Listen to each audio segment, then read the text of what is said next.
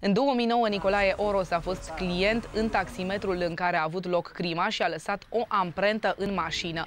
Alibiul său, potrivit căruia fusese acasă la ora crimei, nu a putut fi confirmat.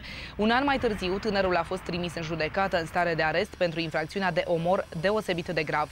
A stat 13 luni în penitenciarul Oradea într-un spațiu de doar 6 metri bătrați, împreună cu alți șapte deținuți.